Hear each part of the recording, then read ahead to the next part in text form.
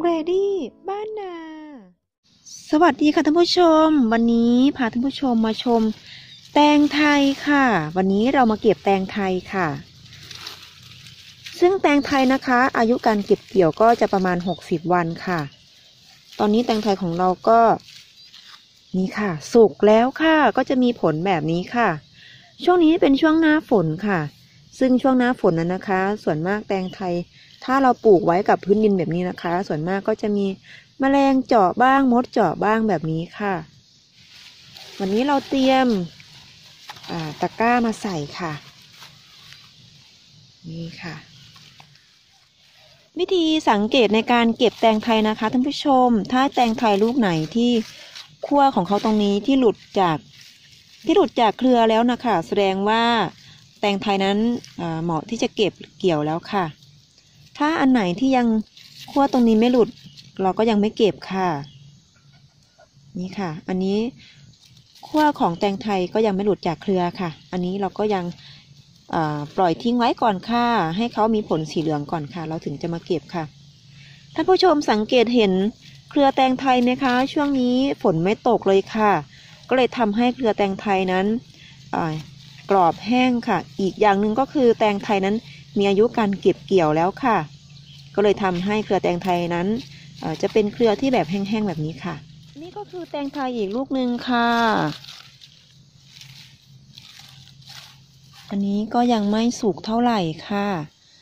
เราก็จะปล่อยทิ้งไว้ก่อนค่ะ เรายังจะไม่เก็บค่ะ เพราะว่าเขายังไม่เหลืองเท่าไหร่ค่ะ ผลของเขายังไม่เป็นสีเหลืองเท่าไหร่ค่ะ แล้วขั้วของเขาก็ยังไม่หลุดด้วยค่ะ ตงไทยลูกนี้ รู้สึกว่าจะพอเก็บแล้วค่ะโอ้ช่วงนี้เป็นช่วงหน้าฝนค่ะ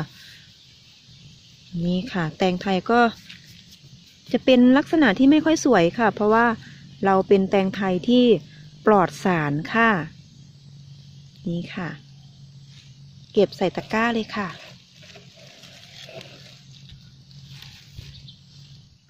านผู้ชมคะแตงไทยลูกนี้ ก็สุกแล้วค่ะ แต่ว่า แตงไทยลูกนี้รู้สึกว่าจะมีมแมลงกัดค่ะ แล้วก็เก็บ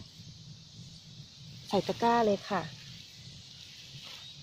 แตงไทยสามลูกเต็มตะกร้าแล้วค่ะท่านผู้ชม โหดูสิคะลูกนี้ ผลสีเหลืองสวยเลยค่ะท่านผู้ชม อันนี้เราก็จะเก็บใส่ตะกร้าค่ะ ท่านผู้ชมอยากชิมไหมคะ ว่าแตงไทยของเรานั้นจะอร่อยหรือเปล่า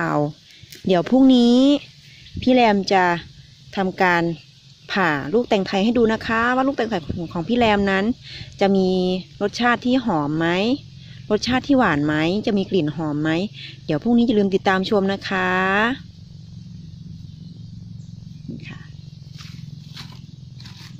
ใส่ตะกร้าไปเลยค่ะ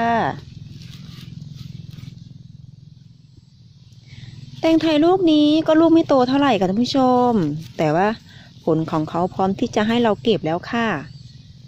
นี่ค่ะ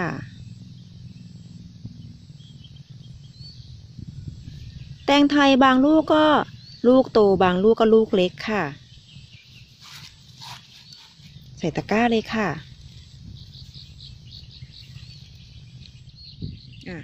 เรามาดูแตงไทยลูกนี้ค่ะว่าเราจะเก็บไหม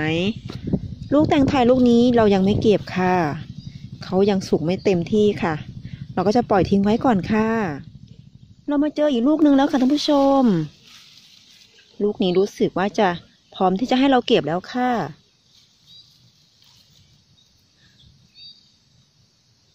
เรามีการเก็บแตงไทยไปสองสามรอบแล้วค่ะท่านผู้ชม แต่ว่าเราไม่ได้ถ่ายคลิปมาให้ท่านผู้ชมได้ชมกันค่ะ วันนี้เราก็เลยถ่ายคลิปมาให้ท่านผู้ชมได้ชมกันค่ะ ก็เป็นแบบนี้ค่ะ ก็จะบิดบิดเบี้ยวๆหน่อยนะคะ เพราะว่าเราไม่ได้ใส่สารเคมีค่ะ เราปลูกแบบบ้านๆค่ะ ปลูกแบบง่าย ๆค่ะ โดยวิธีธรรมชาติค่ะ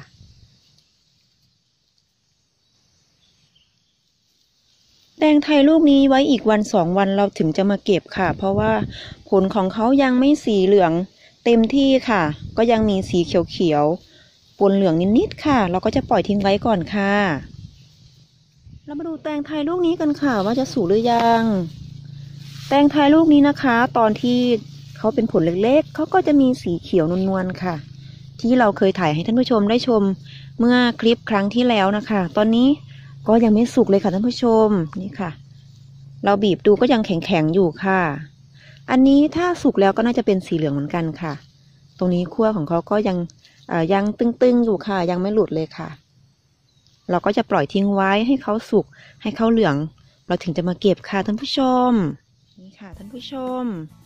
วันนี้ก็เป็นคลิปง่ายๆ สบายๆค่ะ ก็พาท่านผู้ชมมาเก็บแตงไทยด้วยกันค่ะ ท่านผู้ชม